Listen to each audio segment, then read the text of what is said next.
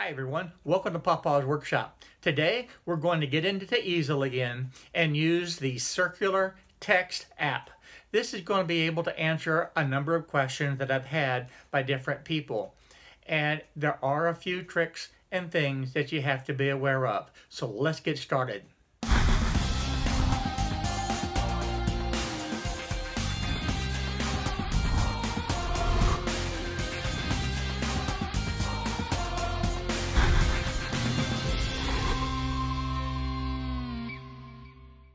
First thing that I want to do is define what the different areas are. So what we need to do is type out just a simple word and I'm just going to use this text for right now and we're going to bring it up right up here into the center and I'm just going to backspace and we're going to type Abby and we're going to use that to begin with and define the different components of the circular text app. So with the word in place, let's just go ahead and highlight it. We'll now move over, select the app, and scroll down to the circular text app. Now what I want to do is define what each of these different areas are and how they work. And the first thing is the gap.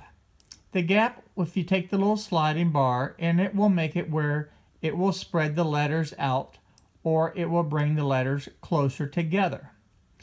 You can also change this manually by just highlighting that. And let's just uh, put in a 0.50 and that will move the spacing and change. The next thing is the radius. And the radius is all dependent on this area down here at the bottom. We have a horizontal and a vertical anchor. Right now, the horizontal anchor is listed as the center, and you can see if I shift this to the left or to the right, it actually right justifies or left justifies based on this center point. So right now, it is at the right horizontal anchor, so that center line is literally running right through this point. If I shift this over to the left, then the center line is running right along the left side of the first letter. And what I want to be able to do is have this on the center. Now then, the next component is this vertical anchor. And again, this is tied very closely as well to the radius. Right now is showing at the bottom. The radius is 3 inches. So if I had a point right here and measured out 3 inches, this would be the 3 inch radius line. And that's where those letters will line up. If I go over here and select center, you can see how that drops down. If we had the same center point here, the 3 inches would be a line or an arc that goes right through the center of the letters. And likewise, if we do this one more time and we select the top, then this radius line follows right along the top of the letters. So that's important to know when you're doing the design work. The next thing that I want to do is move up to the starting angle. Right now it's setting at zero. And with this horizontal anchor in the center, that means this vertical line running straight through the center of the A is at the zero point, that's zero degrees, and it's centered. If I take this and move it to the left, then it will move it correspondingly, in this case, 37 degrees to the left. If I move it to the right, Okay, this, for an example, is a positive 26 degrees to the right, and that shows off of this center line how far to the left and right that it's moving.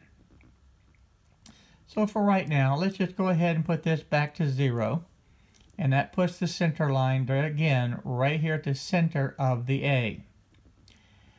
The next one that I want to talk about is orient.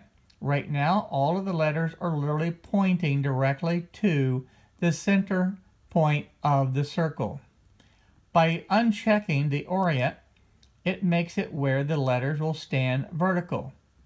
So if I slide these around by increasing the gap, they stay vertical all the way around. And for the purpose of what we're doing today, I'm going to leave the orient checked.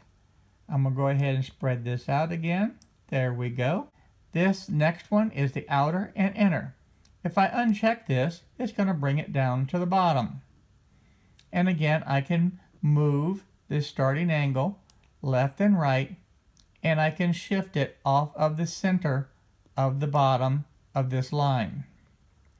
So if I have this at zero, then with this selected, the center line right here, again, is the center of the A oriented on the bottom of the circle.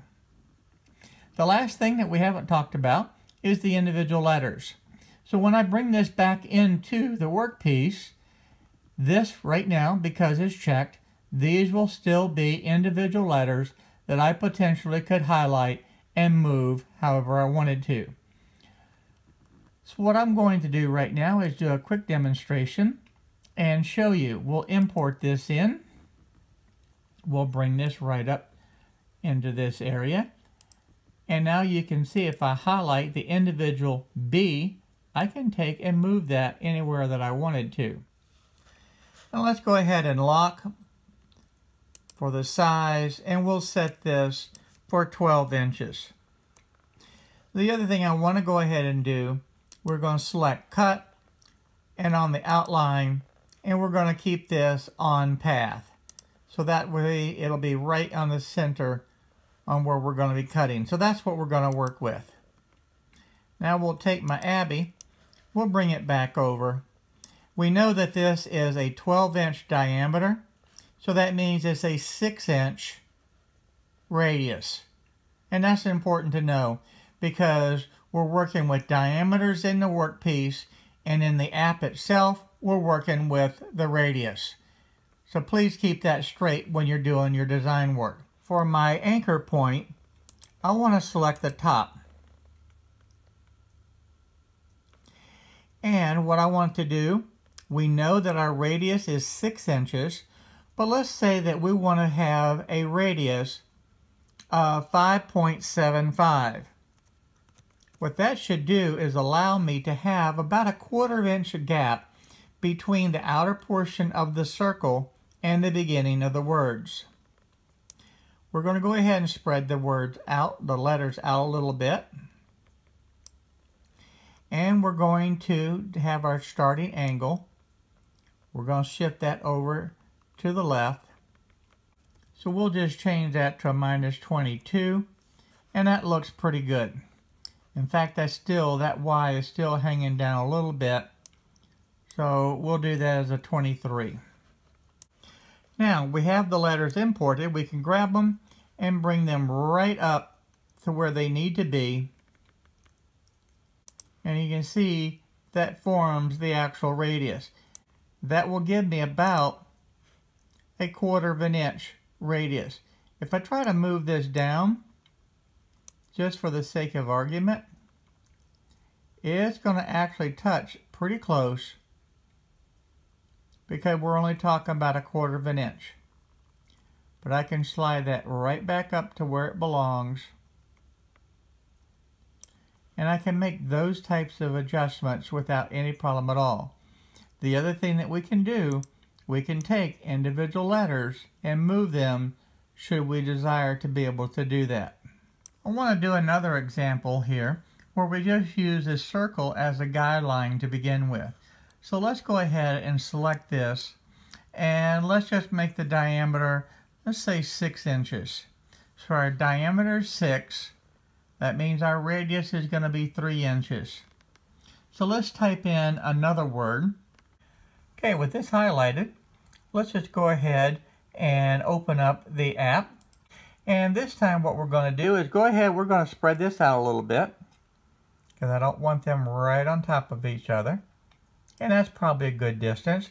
We know that the diameter of the circle was 6 inches. That means the radius was 3. So we have that here. But let's this time, let's go ahead and select as our vertical anchor.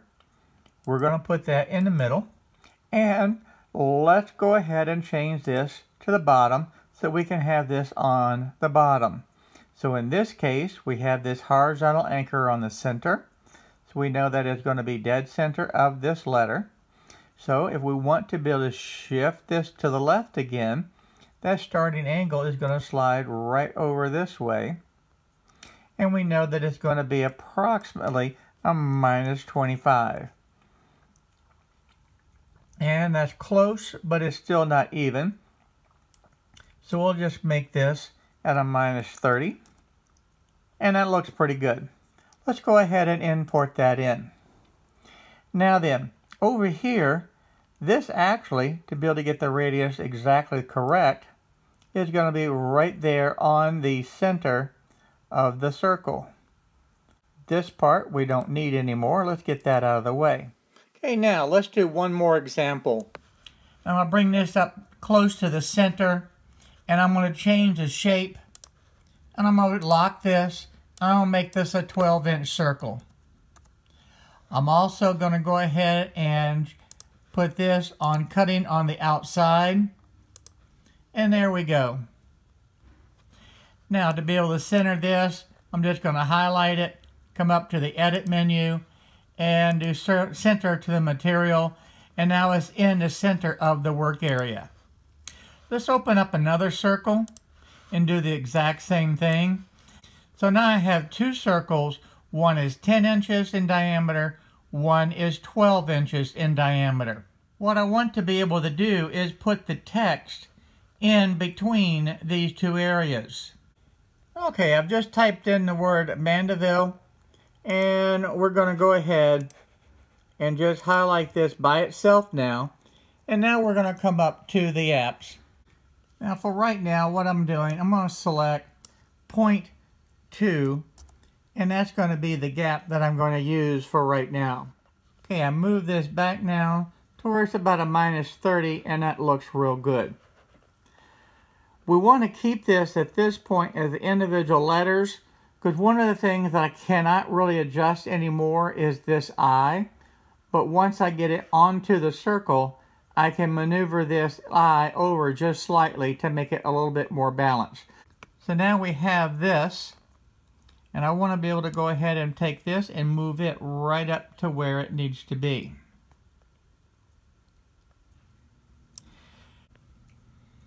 While I'm doing this, I want to be able to utilize my coordinates over here. So I've selected this in the center, so it's going to be in the center of the square. And now I can move on the y-axis up or down just slightly to be able to center it in the space. And keep in mind, it's going to center it based on this point right here, not the center point of this letter. Now I said earlier, I could actually alternate and move this letter individually. So I can take this and just slide it over just slightly and that looks really good. Now it looks centered. So the circle text is not really a mysterious thing. You just have to be able to have everything set up to begin with. This is another example that I did just real quick and that makes for a nice sign and you can see how that would carve. The other thing to be able to take in consideration, you always don't have to keep perfect circles and the center point. This is one that I did real quick. Circles off-centered. Put the P in the center. And it makes a nice logo and it doesn't take long to be able to do this. And you can see over here how it's going to carve. I set this up for a 90 degree bit. So the possibilities are actually endless to be able to do this. It's only limited by the imagination that you have. Hi everyone, thank you for watching my video today. If you like the video, please go ahead and hit the subscribe button down below and the little bell next to it so you'll be notified on the different videos that I upload.